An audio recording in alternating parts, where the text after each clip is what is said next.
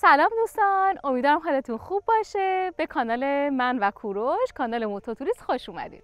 ما در این کانال ویدیوهای سفرمون رو در قالب ولاگ منتشر می‌کنیم. اما یه قسمت هایی هست که نمیشه دوربین در آورد یه حرفایی از دل آدم هست که توی سفر درک میشه و من می‌خوام اونا رو با شما به اشتراک بذارم. تصمیم گرفتیم که یه سری ویدیو در قالب پادکست در موتوتوریست منتشر کنیم. و این ویدیو می‌خوام براتون یه موضوع خیلی جالب رو بگم. اینکه واقعا ما که الان نزدیک 4 5 ساله مدام در سفریم آیا دلمون برای داشتن یه اتاق و تخت گرم و نرم تنگ نمیشه. بالاخره آفتاب در اومد.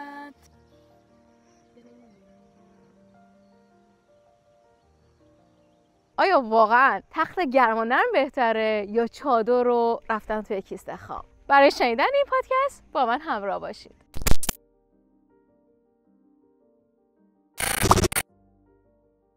داستان از اونجا شروع کنم که اکثر آدم ها مثلا توی کافه هستیم توی بار هستیم با آدم جدید آشنا میشیم وقتی بهش میگیم که ما خونه نداریم و توی سفر زندگی می‌کنیم می‌پرسن یعنی کجا زندگی می‌کنیم کجا؟ یعنی که جا نداریم یعنی چی؟ میگیم خب تو سفریم چادر داریم چادر می‌زنیم. اینجا یه سوء تفاهم پیش میاد یعنی دو تا سوء تفاهم پیش میاد اولین چیزی که به ذهنشون می‌رسه تصویر مسافرای نوروزی و دور میدونا و شلوغیا و این ور جاده اون ور جاده کنار شهر بغل رد شدن کامیون و ماشینا تو جاده است. دوستان عزیز سبک سفر ما و چادر زدن هیچ ربطی به این مسافران نوروزی عزیز نداره. سفر ما وقتی میگیم چادر می‌زنیم و کمپ می‌کنیم یعنی یه جای دنج.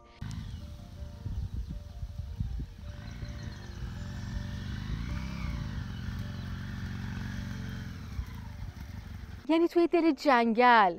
جایی که وقتی که در چادرتو باز می‌کنی یه منظره بی نهایت می‌بینی.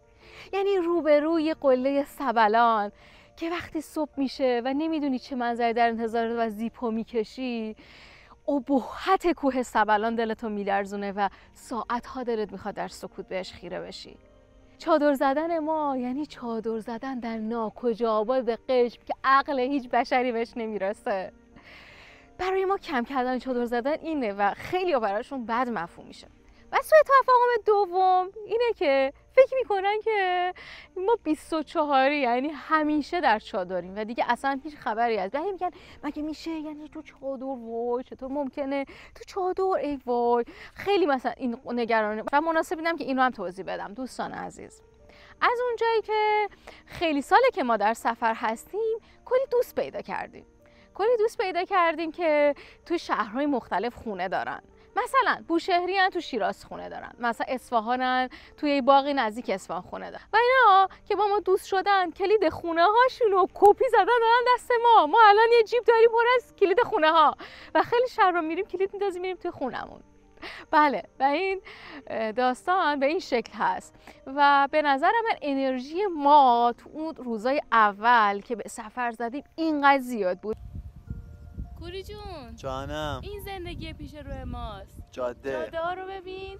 گلا رو ببین. چقدر زیبایی آخه. بچخ بچخ بچخ چخ بچخ نمیشه اصلا با فیلم نشون داد.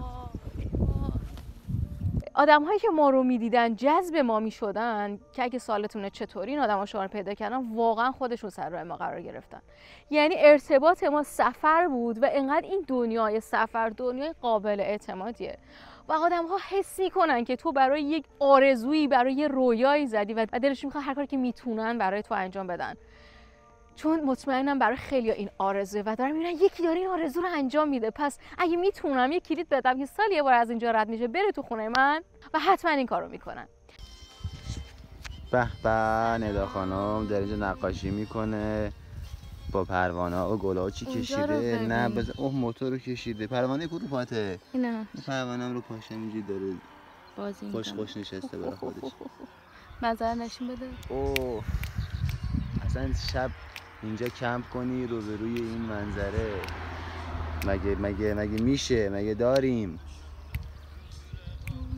خوب بود خدا رو شکر. جاتون خالی. آره دیگه اینجا چادر زدیم. خدا رو شکر خوب بود. راضی بودیم. اینکه دوستای دیگه ای داریم که تو این سالهای سفر که باش آشنا شدیم حاصل زدن. و یه خیلی هم حاصلا مثلا ما رو نمیشناختن طریق اینستاگرام اینا ما رو شناختن و ما پیام میدن که یادتون باشه از مثلا اهواز رد شدین از تمران رد شدین. آقا این حاصل ما این اقامتگاه ما پیش ما بیا. بله ما همیشه تو جادور نیستیم. یه وقتایی هم شده توی شهرهای اقامت طولانی داشتیم. یه جای اجاره کردیم. مثلا همین الان که ما رشت هستیم می‌بینی که چقدر خوشگله دیگه. مشخص رشته گیلان زیباست. اینجا یه جای رو اجاره کردیم سه چهار ما بمونیم استراحت کنیم ویدیومون رو درست کنیم بریم این اطراف رو بگردیم که فوق العاده جای دیدنی داره. ولی ترجیح ما بودن در دل طبیعت و خوابیدن تو چادر با کیسه خوابه. اما باید راستش رو بهتون بگم. اون ساله اول ما خیلی وحشی بودیم. یعنی یادم میاد که ما توی قشم لوکیشنامون رو گاه وقتا به فاصله اینکه با چشمون می‌دیدیم عوض می‌کردیم. اینقدر ولع داشتیم که حالا از اونجا ویو چه شکلیه. حالا پاشیم بریم اونجا. بعد اون همه وسایل رو جمع کن و بارو موتور بزن و برو. یه خورده اونورتر اونجا به به به. اینجا دیگه خیلی قشنگه. حالا امشب اینجا بمونیم. امروز اینجا باشیم. و خیلی کم پیش می اومد که ما بخوایم جا بگیریم یا اصلا دوست زیادی نداشتیم که بخوایم پیشش باشیم. برای همه خیلی بیشتر توی طبیعت بودیم. خیلی هم مزه می‌داد. اما واقعیتش اینه که اون تایم که همه توی اینستاگرام استوریای ما رو می‌دیدن. وای اینا چقدر جای باحالی هستن. وای چه ویوی دریایی. وای چه غروبی. و خیلی همه واو بودن. من یادم میاد که یه شب توی چادر سردم بود. بعد خودم رو پیچونده بودم لای کیسه خواب. شاید فکر کنم یه هفته بود که ما کم کرده بودیم. بعد یه استوری فرزانه رو دیدم. یه عکس گذاشته بود که روی کاناپه روی روی تلویزیون اینجوری دراز کشیده بود. یه نور آباژ هم افتاده بود روش. یه ظرف میوه یا یه یه فنجون چایی هم جلوش بود. یه هوی اینقدر دلم خواست. یعنی من چیزی که فکر کنی سالهای سال یعنی از سی, و سی سال زندگی من من 29 سال و دوازده ماه و اینقدر روزشو داشتم مثلا حالا دو ماه بود که مثلا به اراده خودم من خودم خواستم که نداشته باشمش. و فکر کنم همون موقع بهش پیام دادم که وای فزی من الان دوست داشتم که اونجا رو اون کاناپه باشم. آره اینا واقعا پیش میاد. و این واقعا تایم داشت. چرا که خیلی وقتا می‌شد ما می‌رفتیم یه همینطوری که براتون تعریف کردم. رفتیم یه جایی می‌گرفتیم یکی به ما کلید می‌داد. هم گفتیم وای خدا رو شکر دیگه رسیدیم من دیگه یک ماه از خونه پا بیرون نمی‌ذارم. می‌خوام فقط چه می‌دونم فیلم نگاه کنم فقط می‌خوام تو خونه باشم چقدر خوبه. و این فقط چند روز بود. بعد چند روز حالا می‌خوایم کجا بریم؟ پاشیم بریم یه جایی. نمیشه که همش تو خونمون. چقدر time زیادی ما تو خونه ایم کوروش منو یه جایی ببر. چرا ما جایی نمیریم؟ چرا منو جایی نمی‌بری دیگه خلاص اما اینم یه time ی داشت. ولی یه جایی تو سفر من فهمیدم که ما به اندازه کافی وحشی شدیم. یادم سفر گرجستان به سمت شمالش که میری کجا میشه؟ که میره مرز اشکولی که میره به مرز روسیه. خیلی کوههای وحشی و از این درختای امو بابراز و خیلی فوق العاده است. بعد اونجا اصلا ولع زیادی برای بودن در طبیعت و جنگل و فلان ندارن چون یه کشور همش جنگله. ما بعد خدا تو ایران 5 درصد کلا جنگل داریم همه بیابونه. خب طبیعتا هم حجم زیادی به سمتش میاد هم عشق و علاقه نسبت بهش بیشتر میشه. اونجا هیچ کسی اصلا تحویل نمی‌گرفت. اون همه زیبایی رو اینا ماشین میدن رد می‌شدن و اینا. ما هم یه جای دنج خفن عالی یعنی عالی که میگم رودخونه بود که خودت توش بشوری چوب بود که شب آتیش درست کنی. یه سوپر هم همین مثلا پیاده چند قدم فاصله داشت وسط جاده می‌شد بری ازش وسایل مورد نیاز. بخری ما زمین زدیم. یه هفته تو دل جنگل کمپ کردیم چادر زدیم برای خودمون همه همین کاری که گفتم آشپزی می‌کردیم آتیش روشن می‌کردیم. به به عجب جایی اومدی. کوروش جون دمت گرم. چاکرم چاکر داداش. و یه چیز خیلی جالبی که خیلی ما میگه حوصلتون سر نمیره برای ما واقعا حوصله سربر نیست. اولا اینکه خیلی با هم که حرف داریم. از بخت و اقبال خوشمون ما واقعا با هم خیلی حرف داریم. و اینکه طبیعت هر روز یک جلوه جدید و زیبایی از خودش نشون میده. یه روز رنگین کما میفته یه روز بارون میاد. تو درگیری داری که حالا بارون رو چیکار کنی؟ یه روز آفتاب میشه گرم میشه. یه روز یه پرنده قشنگ و اصلا نمی‌دونی که چطوری صبح و شب میگذره. خب دوستان از اتاق فرما دستور دادن که یه هفته نبود و دوازده روز بود. واو دوازده روز ما بدون هیچ سقفی در دل یک جنگل در یک کشور غریبه در جایی که هیچ بنی بشری نبود چادر زده بودیم. و اصولا این جایی که بنی بشر نیست جای امنی هستش. اونجا کمپ کرده بودیم و دقیقا روزای آخر بود. یعنی روز یازدهم بود هر کدوم تو حال خودمون جدا جدا به این فکر کرده بودیم که با چقدر بچه های بدی هستیم. حتی یه پیام ندادیم بگیم که ما مثلا دوازده روز ده روز میریم نیستیم نگران ما نشید. بعد آخه موبایلمون هم آنتن نمی‌داد یه کلا ما disconnect بودیم با بیرون. بعد یه هوی مثلا با همدیگه سر صحبت رو باز کردیم که کوروش میگم ما ما این همه مثلا چند روزه هیچ خبری ندادیم. این بندای خدا مادر من تو مشن میگه که این دختر من چه شد؟ چه کار شد؟ مادر تو الان دق نکرده. بیا بریم یه جایی یه زنگی بزنیم. گفت راستش نده واقعا من خودم هم همینطور. من خودم خیلی بیقرارم و مثلا میگم نکنه مثلا ما خیلی بیمعرفتیم و هیچ خبری ندادیم. باشو جمع کنیم بریم. پاشو پاشو دیگه جمع کردیم. و سوار موتور و چشم اینجوری مثل گربه است و استوریات جای پر اون موقع خیلی صرف کردیم. در اون سیم کارت نگرفته بودیم و نمی‌تونستیم شارژ کنیم. رفتیم یه جایی ازش خواستیم که به ما یه اینترنت شیر کنه. و وقتی که پیام ها رو دیدیم فهمیدیم که ما موفق شدیم. هیچ کس از ما خبر نگرفته بود. بله این برای دو تا آدم دیوونه ادونچر یعنی موفقیت. یعنی تمام اون سالهایی که گفتن کجایی گفتم حالا برمیگردم حالا می‌رسم.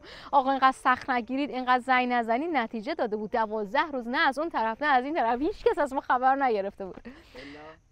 ال حامد. حامد ددی حامد مهرفوز دوست عزیزمون که خیلی زیادی هم نگران شده بود که به یک دوست دیگه که گرجستان بود پیام داده بود که این اگه دیگه تا فردا خبری ازشون نشد این شماره پلاکشون برو به پلیس اونجا بگو تا ببینن که کجا و نکنه اتفاقی براشون افتاده. مرسی حامد. بعد نگرین سر داستان. دوازده روز گذشته بود در ادامه باز دوباره به ویو دیگه رسیدیم. یکی دو روز دیگه اونجا کم کردیم و دیگه پاره پاره بودیم. یعنی فیزیکن دیگه نمیکشیدیم که بخوایم ادامه بدیم. و اصولا این مواقع به خودمون یه فاز میدیم. میریم یه هتل کرایه می‌کنیم. رفتیم باتومی و از قبل هم اینم بهتون یاد بدم از قبل از طریق بوکینگ ما یه هتل پیدا کردیم بهش پیام دادیم قیمتش رو باهاش ست کردیم که ما رو اونطوری پک و پاره ببینه قیمتش رو دو برابر نکنه بگه اینا دیگه الان ناچارم من اگه چه می‌دونم صدم بگم هزار اینا باید قبول کنن. قیمتش رو باهاش ست کردیم خوشادیم رفتیم. در اتاقی که باز کردیم تخت تمیز ملافه های سفید همه بخار گرفته دوش گرفتیم و فکر می‌کنم توی کسری از ثانیه که سرمون بخواد به متکا برسه خوابمون برد. یادم میاد که صبح که احساس کردم که بیدارم اولین چیزی که دنبالش میگشتم این بود که چرا صدای پرنده ها نمیاد. دیدین یه تایمی هست که هنوز کامل لود نشدی؟ هنوز دقیقا نمی‌دونی خیلی تایم کوتاهیه ولی هنوز نمی‌دونی اصلا کجایی چشات هنوز باز نیست. کدام صدای پرنده ها چرا نمیاد؟ صدای رودخونه. چرا باد نمی‌زنه به چادر؟ و من دنبال اون بودم. و یه غمی دلم رو گرفت. وای انگاری که یه موجود واقعا خب ما واقعا موجود طبیعی هستیم و باید در طبیعت به نظرم می بودیم. حالا چی شد که سر از خونه و دیوار بتونیا در بردیم ولی اون لحظه من واقعا اون اون خونم رو می‌خواستم. اون خونه که دیوار نداره اون خونه که توش باد می‌زنه اون خونه که شب میری بیرون آسمون رو و من صبح دنبال صدای پرنده اونجا چه صدایی می‌دادن؟ پریویت پریویت. پریویت پریویت.